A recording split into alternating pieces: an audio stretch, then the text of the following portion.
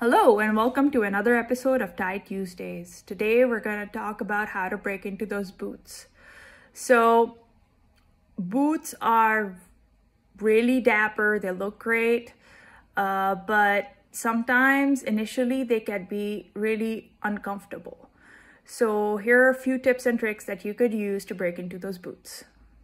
Number one, you buy the right size of boot to begin with. So if you're narrow in one uh, brand of boots, you might be a wide in other brand and the sizes change. So I recommend going to the store, trying a few on, seeing which one is more comfortable, walking around the store, and then buying the right size of boot. Another thing you could do is get thicker socks and take your socks to the store when you're trying on the boots. It will help you gauge on how much area the sock's gonna take. And then another thing you could do is if you're feeling like there's a blister forming, just slap a bandage on it right there, like a band-aid. Or you could get like some moleskin. That's another thing you could put on.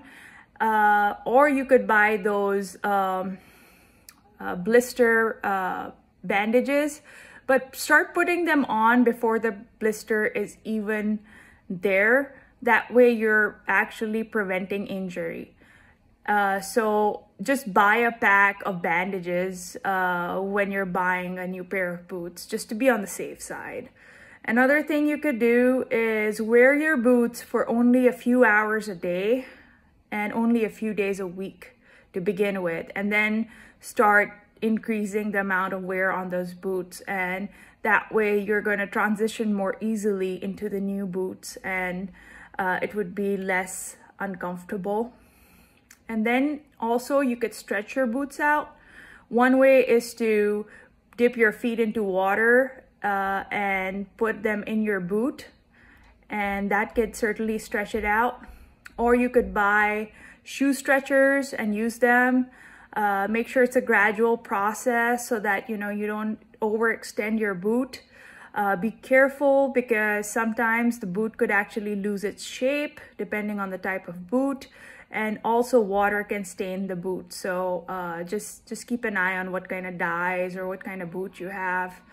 So those are some of the things that you could do to break into boots. If you have more leave them in the comments below and I hope you all have a great week.